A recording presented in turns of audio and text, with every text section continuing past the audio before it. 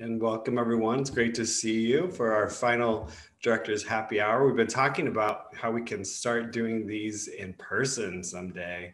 Wouldn't that be fun to be together and look at artwork in the galleries and have a cocktail? So we're talking about it. Um, let me share my screen real quick. We can get started. You've seen my intro slide. Tonight we're talking about George Forster and uh, the history of still life painting. And uh, I prepared about three hours of uh, information, so get comfortable. I did uh, whittle it down to two hours, so uh, we'll take a break after 60 minutes. Just kidding, but that's just to say there's a lot. You think about still life, and it's like this really simple genre, but there's actually so much that we can talk about it. So tonight, um, I'm going to introduce you to this painting by George Forster. It's called Still Life with Fruit. Forster was German American and lived from 1817 to 1896. And this painting dates from 1866. It's an oil on canvas, and we acquired it in 2018. And it was actually the first still life that was acquired for the Rockwell collection. So pretty monumental. So tonight we're going to take a really quick uh, look at the history of still life painting because I just wanted under, you to understand kind of the context of this painting uh, within the genre. And then I'm going to give you a little bit of intro to George Forster. And we're going to look at and analyze the subject of this painting, thinking about the history of uh, the late 19th century and some of the symbolism that's embedded in it, because there's a lot to talk about here. But before we get into George Forster, I just wanted to make sure we all understood what we're talking about and give you a little bit more information on how we think about still life as far as what our, histor- our history and our historians. So when we're looking at still life, um, we're talking about a painting or drawing and it's arrangement of objects. Um, very often it's fruit, flowers, and the artist a lot of times tries to pick objects that are contrasting so that they can show a lot of different textures and have a lot of variety in their painting.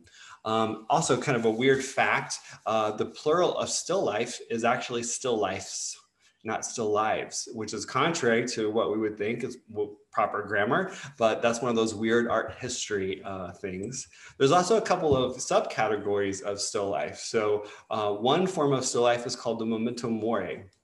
And this means in Latin, remember you die, which is really depressing, but it's something artists like to remind us of sometime. And, uh, and for these still lifes, they contain, they contain an object that is a reference to our mortality. And very often it's something very literal, like a skull, uh, but it could also be a timepiece, like an hourglass or a clock. And sometimes it's even more subtle. It might be a wilting flower, or it could be a fly or another insect that's on an arrangement of food that just reminds reminds us of the temporality of life. And there's actually even one more kind of like sub subcategory, and that's called the vanitas.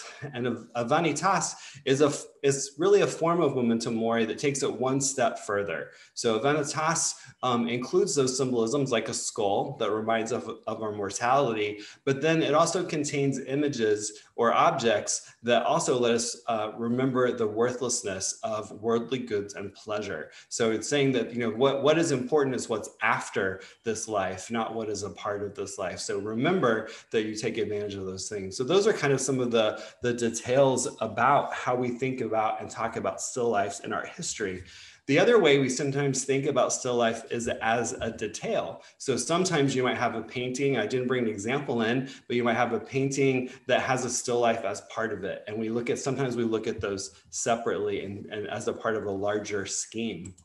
So now we're going to go way back in history. So this is a painting from the tomb of Menna in Thebes. It's from the Egyptian New Kingdom, um, and it dates from 1550 to 1069 BCE. And this is one of the example of one of the earliest still life. So still life painting is a tradition that's very old, and, and artists have been employing it for a variety of reasons in a variety of ways for thousands of years. It's not just something that um, that people paint um, as a hobby and hang in their dining room. This is something that's been utilized in a variety of ways. And in this case, the still life contains fish and fowl, what appeared to be baskets of fruit, wine, perhaps loaves of bread. And all of this was included along with real objects in the tombs of ancient Egypt, Egypt to provide virtual sustenance in the afterlife. So it was symbolic and magical and a part of their religious beliefs. Moving a little further ahead um, to Pompeii and to the first century um, in, in Rome, um, this is a still life from the villa of Julia Felix in Pompeii. And this villa is um, one of the well-known because it's um, a building that the owner, Julia Felix, used to expand her business. So there was a shortage of housing in Pompeii right before everything went south. And uh, Julia Felix took advantage of that. She started renting out some rooms and some apartments. And she also um, rented some spaces that were used as businesses um, and public baths. So she um, expanded her home to grow a business uh, during this time period. And there's frescoes throughout this villa, including this one, which shows um, it's a still life with eggs and thrushes. And it could have been either in a dining space or it might have been in a space advertising the wares and the goods that were being produced by that seller. And that's one of the ways that was used in the frescoes of ancient Rome uh, was both as decoration. Still life could be decoration in a dining room or other space, or it could also be an advertisement for people walking by. Jumping a little bit further, so I told you this was going to be a quick head spinning journey of still life, for the history of still life. This is Abraham Mignon. This is flowers in a crystal vase standing on a stone pedestal with a dragonfly. So very long title. It's from the collection of the Louvre. And this is from um, the, the Dutch, uh, the Renaissance, the Northern Renaissance. And this is a time period when still life has a, a major rebirth. It's a genre that kind of ebbs and flows throughout history. And this, there's a reason and there's an alignment with this, uh, the Renaissance in the North, and also with American still life that we'll talk about later. And that is the rise of the middle class. So in this time period um, in, uh, in in Holland and um, Amsterdam, there is an expansion of the bourgeoisie, the business people, the middle class. And because of that, there's an expansion of the art market. And we see um, a new uh, patron for the arts. Uh, before this, the patrons were the aristocracy, the princes, the kings, uh, the nobles, and also the church. But now you have this wealthy middle class that wants beautiful paintings to decorate their home. And this creates a whole new market for the artists of this time period. And of course, they focus on the things that, are, that those people are most passionate about. And one of those, as you all probably know, was flowers and tulips and bulbs, because there was, of course, a great craze and a business around bulbs during this time period. And this painting, you know, we're not going to spend a lot of time with it, but it's not that large of a painting. It's 34 by 26, but it's incredibly detailed detailed. And the artist has given us a lot of information about the varieties and types of flowers that they've included. Now jumping across the pond um, to, the, to, to America, to the colonies in the United States, still life is not really a part of the arts in the colonial time period into the 18th century because of our the roots and our basis in, in Puritan um, religion and belief system. And the Puritans just really didn't have space in their world for objects that were purely decorative. They saw portraiture and paintings of people as something that could be in their homes because, um, because they, uh, they represented um, identity, they represented connections, but other forms of art were seen as superfluous and, and, and really secondary. So it's not until the 19th century that we really see American artists began to work in the still life genre. And this is as um, artists uh, immigrate from Europe to uh, the United States. And likewise, as artists in the United States travel to Europe and they pick up some of these uh, traditions of genre painting, of still life painting, bring them back to the United States, but apply our own um, sensibility uh, in the Americas as far as the fruits and vegetables that are chosen, uh, as well as other subject matter uh, to this very long tradition.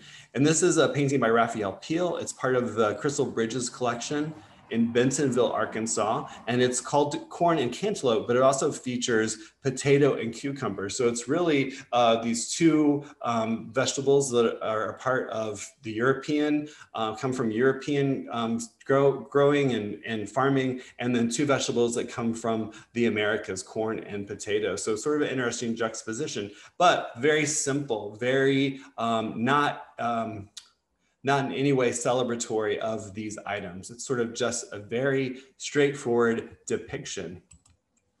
Later in the 19th century, you have artists like Peto and Michael William Harnett, who were known for employing very high skill to deliver a trompe l'oeil painting that really shows um, a still life as, um, as realistic objects. And they had, they had incredible detail to show, incredible skill to show this detail. And this is a painting by Harnett called Mortality and Immortality that falls within that category of memento mori that we discussed earlier as far as a reminder of our own, uh, our own mortality. In this case, Harnett's also reminding us of the things that are lasting, um, uh, the, the, a book and the things that are written in a book, music and the things that outlast us, the things that we create as people that have more longevity than simply our, our lives. So kind of an interesting um, uh, message that he's embedded here.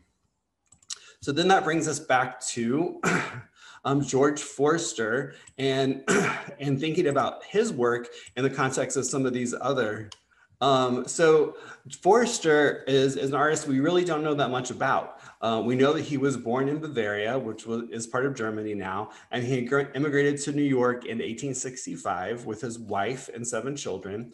And we know that by 1870, he was exhibiting at the National Academy of Design and at the Boston Athenaeum, and he lived in Brooklyn. But there's really very little else that we know about him. Um, he did have two sons, Henry and George Jr., and both of them became artists. So they had this family legacy and history um, of, of, of being painters that was passed on. Um, as I noted, there was a real absence of still life painting in the 18th century of American art. So it's really the, again, in, in the United States, this rise of the middle class and this movement away from puritanical roots of American society in the mid 19th century that really promotes the growth of, of still life painting as a genre as part of the art market.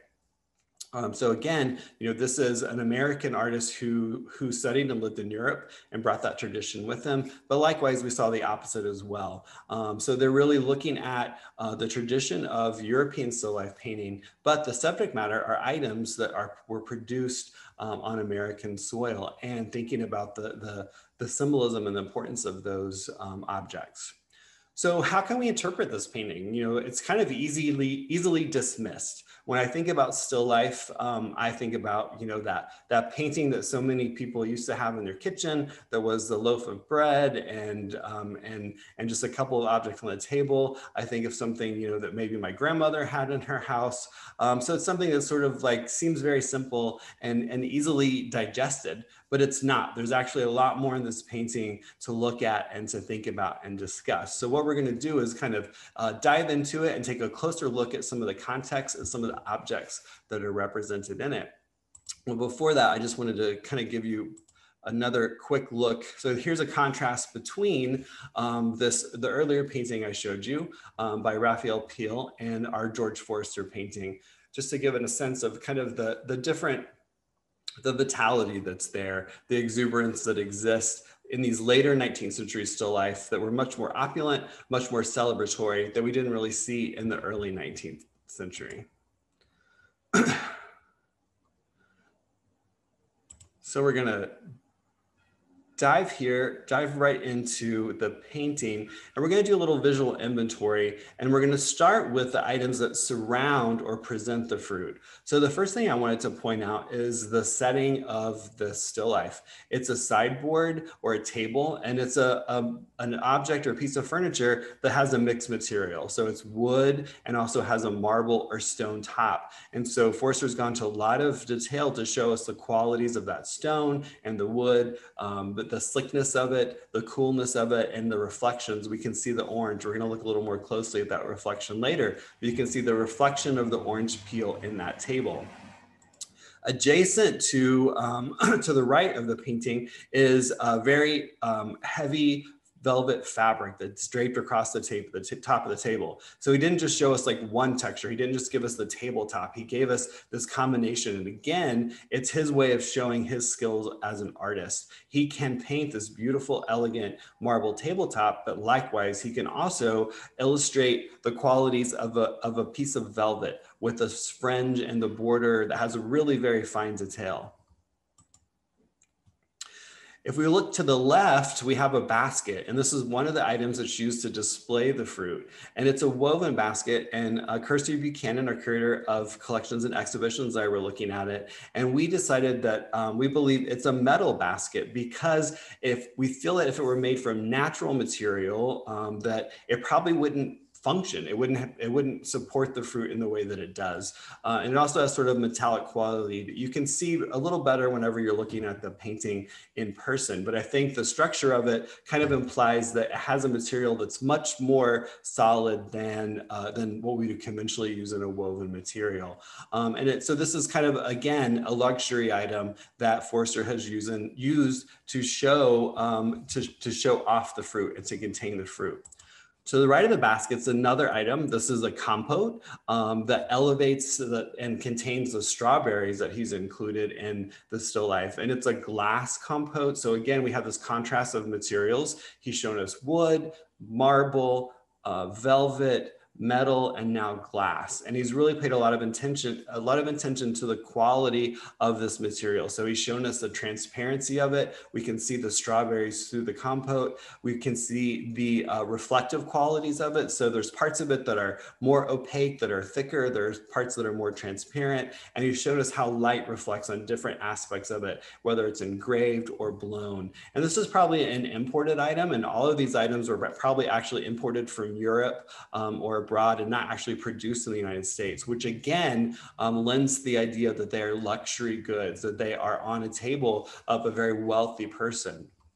The final object that's on um, the table that doesn't contain fruit, but an aspect of fruit is a glass and metal ewer that has red wine in it. And if you look closely, you can see a little bit of that wine through some of the leaves of uh, the strawberries.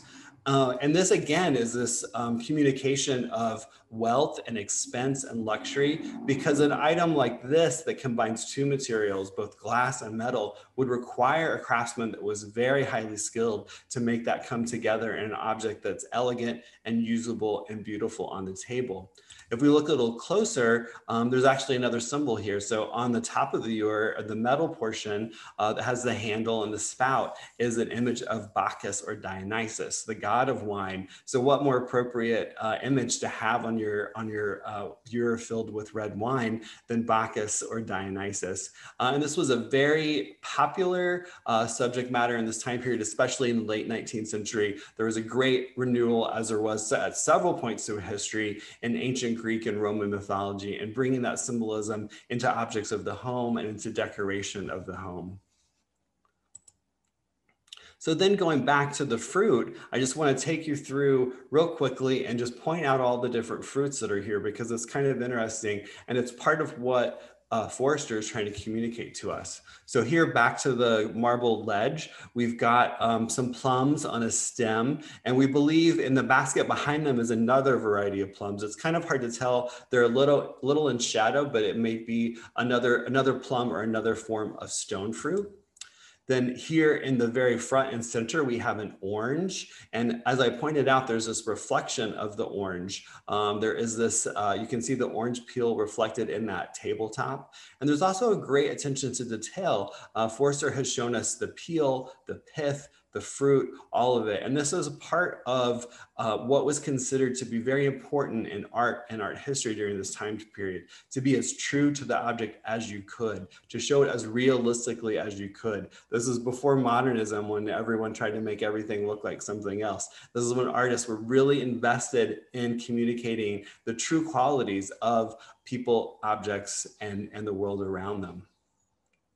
And we'll get back to the orange because it's a, it's kind of important to, to our story. Next to the orange um, are some cherries on a branch.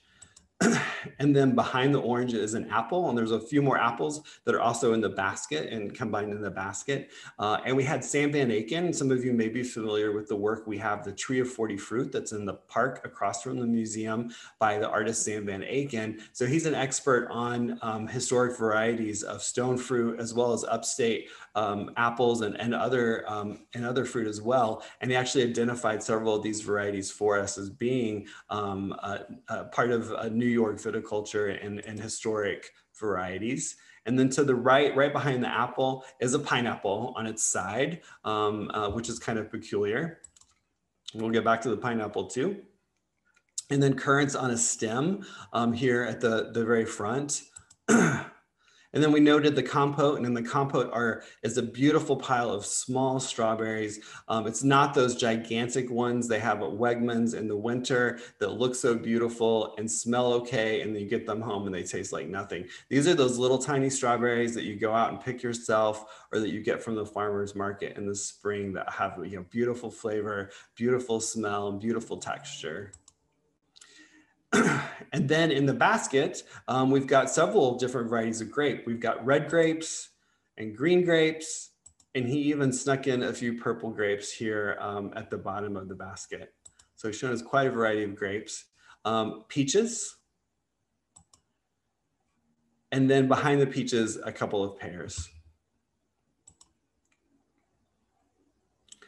Um, so it's interesting as well as how um, how Forster has thought about this composition. So uh, he has grouped all of the fruit kind of at the center of this canvas, um, almost like a very tight oval that's uh, floating right there on the top of the table. And then the greenery, if you note um, the grape leaves, the leaves that are on the, the branches of the, the fruit that are still on, uh, that are still, still have the leaves attached, all of that kind of is, uh, is around the fruit. It almost serves like a halo or like the rays of light around the sun. So again, it emphasizes the fruit, it brings it forward and it provides, again, the sort of uh, this context for it in a space that really has no other context. We don't know what room this in. There's no other information about the background or what might be around this table or around this uh, pile of fruit. So it's all about kind of giving us the setting uh, for the fruit that he uh, has selected. so it's interesting. Um, a couple things about these uh, the selection of fruit. Uh, any observations from the crowd on on um, what all of this fruit has in common or doesn't have in common? Ryan, we have a comment. Uh, not all the fruits are in season at the same time. Exactly. This is that's the that's the big story here. So Forster has given us fruit from all four seasons, from oranges, which we get in the winter, um, uh, the, the fruits of spring, the stone fruits of summer, and apples and pears that we harvest in the fall. Uh, and so today, you know, if you want to go to Wegmans or to Kroger's or, or wherever and buy fruit, you can buy all, all, probably every single piece of fruit that's on this table, with exception of the currants. Currants are still pretty seasonal item, but everything else are something that you can buy. Will it taste good? Will you know, will your cherries be delicious in January? Probably not, but um, but you can still uh, select those. But in the late 19th century, that's not the case. Um, uh, food was very seasonal. It was hyper seasonal. And the only way to enjoy fruit out of season was really by preservation methods, which were few and far between. And they didn't, we didn't have the ability to do, to move fruit from one part of the country to another easily. Therefore, when you did do that, it was incredibly expensive. The other thing that's interesting about this um, is that all the fruit that's here is something that can be eaten out of hand as far as an apple or strawberries, with the exception of uh, the orange, which is being presented, um, it's prepared, it's open, it's ready to eat, and the pineapple, which remains uncut. And these are kind of two um, uh, kind of uh, more symbolic uh, fruits that he's included here that we're going to dive into just a little bit more. So back to the orange and its open peel uh, and its reflection on that table. So even when we're talking about a fantasy still life, which is what Forster has given us here, not something that he would actually have been able to create in real life during this time period, there's still a hierarchy and there's still an emphasis on fruit that might be more rare or special, like the orange, something that's very exotic. And I think about the holidays when we might receive an orange in our stocking, which is a tradition that goes very old and goes back very far because oranges were prized and very special and uh, not something that everyone got every day, um, especially in this time period. Um, oranges have a lot of symbolism in our history. They symbolize uh, fertility, fecundity, uh, and in showing the orange in this way, open and ready to eat, um, Forster's really underscoring the abundance of what was available in the American landscape. And he's also, um, again, emphasizing the luxury and the riches that this uh, tablescape symbolizes. He's done that with the objects that display and hold the fruit, and then with the fruit itself. So moving on to the pineapple, which is even a little more exotic than the orange, um, thinking about you know the pineapple and what it means, it has a, lot of symbolism even today. Uh, you know the pineapple is a symbol of hospitality, and in this time period, it was a symbol of luxury and wealth. Um, so it was very revered, revered. And to have a pineapple in the continental United States, it had to be imported from the Caribbean. And those were very costly and it was very expensive. I hope you're all sitting down because I'm going to tell you that one pineapple in the 1700s could cost as much as $8,000 in, in today's money. $8,000. At Weggies today, it was $4 for a pineapple. So they definitely become more affordable, but it's unbelievable. And this this this was all based on the craze that was created by this exotic fruit when it was first imported to Europe. And the king of Spain received the first pineapple to arrive in Europe. And he proclaimed that it was the most delicious fruit in the entire world. And that set off a craze in his court that just rippled across uh, the world. And people became obsessed with these pineapples. Um, so it was something that you cherished that you use to show your wealth, your success. And in most cases, it was a centerpiece. You put it on the table. It was there to be seen, not to be eaten. It was there to be admired, not to be consumed. It showed your guests um, that you that it was uh, that you were very wealthy, that you were successful, that you could have these pineapples on display because you are a hospitable person. And when you're when you're sharing hos- hospitality with people, you want to show your very best. You want to give them the very best that you have. Um, so that's what the pineapple communicated it even created a whole secondary market. So if you couldn't afford an $8,000 pineapple, you could rent one for the evening and have it on your table so that everybody thought that you were um, so successful and so wealthy and so hospitable. Um, I was trying to think of a contemporary correlation to that of what we might rent today uh, to show our success or our status, and I really couldn't come up with anything, but I'm going to keep thinking on it. Um, of course, it is important to mention that during this time and this, this obsession with pineapples um, and just the global market that arose in the 19th century was fueled by colonialism and the enslavement of people. That's what was required to produce commodities like cotton, sugar, and pineapples at a rate that they could be shipped around the world and they could feed this, uh, this craze that people had. It even created a craze for decorative elements. So the pineapple was so prized and so revered and seen as such a, a symbol that it began um, to appear in decorative elements and still does. You know, Williams Sonoma, that's their, their logo, and you can buy a million things there have pineapples on them. Here are two examples. On the left is the Simmons Edward House in Charleston, South Carolina, with two pineapples um, there at the entrance on either side of the entrance. And then on the right is one of the most famous um, kind of follies. This is a really grand use of a pineapple motif. This is Dunmore House in Scotland. And this is um, as uh, many of the royal courts had orangeries where they uh, grew orange trees and where they produced oranges. This was a hothouse that was specifically built to grow pineapples and other exotic uh, plants. Uh, and and to, to market so, they crafted this gigantic pineapple that sits atop it and on this dome. So very uh, amazing.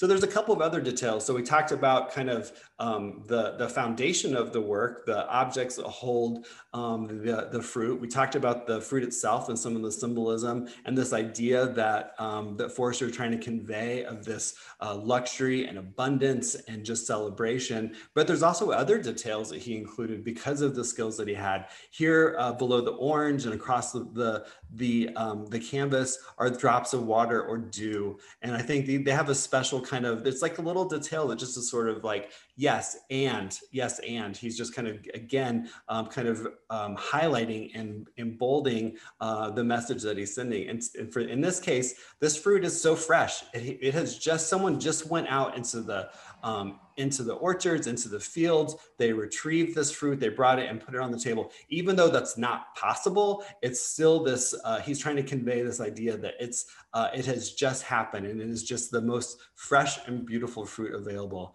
Here it is again on the currants.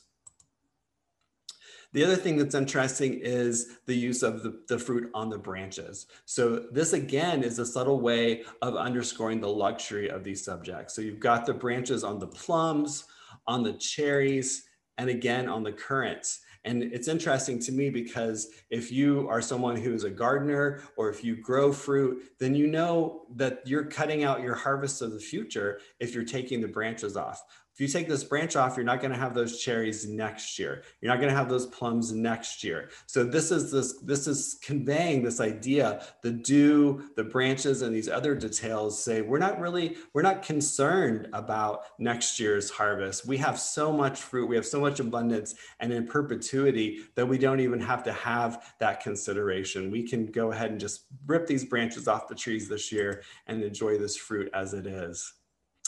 Um, finally, there's another aspect of fruit that's present in this work, and that is the wine uh, that is in the ewer that we highlighted at the beginning.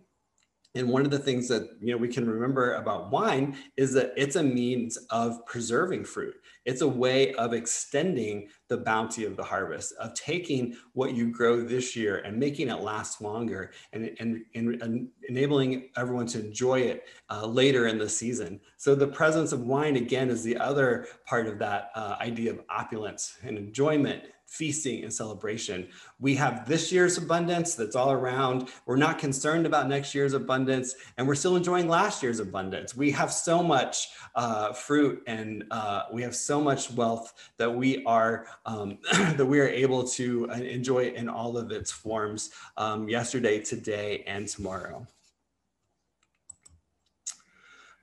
So I hope that um, the next time that you look at a still life when you're at the museum looking at the George Forster or, or elsewhere, that, um, that you look a little closer because there, even though it's a simple and kind of direct genre, there's a lot of detail. And in Forster's case, he's used every detail to illustrate his points of wealth and luxury and sumptuousness from the setting and the objects that are used to display the fruit, the choices of the fruit itself, the symbolism associated with them, and the fine details that underscore his aesthetic thesis. All these concepts are brought together in a composition that symbolizes the perpetual abundance of the American table in the 19th century. So any, any questions I can try to answer? Brian, do you have a favorite fruit in the painting? As far as how it's depicted or? Yeah. yeah. Um, hmm, let me go back. I have to think about that for a second. Um, I think, I mean, I really love the orange um, because of uh, just the way that it's sort of open and it almost has this, um, I don't know, like the quality of a person, like a hand, like the, the way that the peel is uh, displayed. It's almost like it's being offered to you. It has this sort of, um, is personified almost. So I do I do love the orange, and also because there's so many different textures uh, around that that he's shown us the the inside, the outside, the fruit, the pith, all of it. So it's, it's kind of a tour de force. All right, well, I am going to turn it over to Brett real quick so that I can get a couple things. And we're gonna make a cocktail inspired by the $8,000 pineapple and also the wine uh, that is in uh, the ewer. So let me end this real quick. All right, hold on just one second and I will be right back. There we go. Change camera angles. So I wanted to do something inspired by that incredibly expensive pineapple tonight. So I decided, and the wine. So we're doing a pineapple sangria. It's a little different. It's a little tropical, of course, because of the inclusion of the pineapple. So what's in the pitcher already is uh, two cups of diced pineapple and then two ounces of light rum and two ounces of dark rum and then two cups of white wine. And I chose a Spanish white that's kind of fruity, not too sweet because of the other sweet elements that are included uh, in the cocktail. so to that, we're adding two ounces of uh, simple syrup, and then uh, two ounces of lime juice, which will help balance out the sweetness of the pineapple and the syrup and then um, a cup of coconut water. So I think this is going to be a very refreshing cocktail. I think it would go great with a Latin meal or a Caribbean meal, um, or just a great uh, cocktail on a hot summer day or a hot spring day like we have today. Just stir that up. And I forgot my garnish. You'll have to imagine the beautiful pineapple I cut up to put in, into it. Um, so I'm gonna take a couple of these pieces that are have been soaking in that liquor because you know it's sangria, so you want that. Then it has a little bit of sparkling water. Um, so you can add that to the pitcher if you're gonna serve it to everyone uh, in one sitting. But since I'm not planning on drinking this whole pitcher of sangria tonight, I'm just gonna add a little bit of the, uh, sparkling water to the top there. And I've never made this before, so this will be a taste test. Hopefully it's good. it's perfect, very light, super fruity, very refreshing. So I recommend it. So cheers. Thanks everyone for joining us.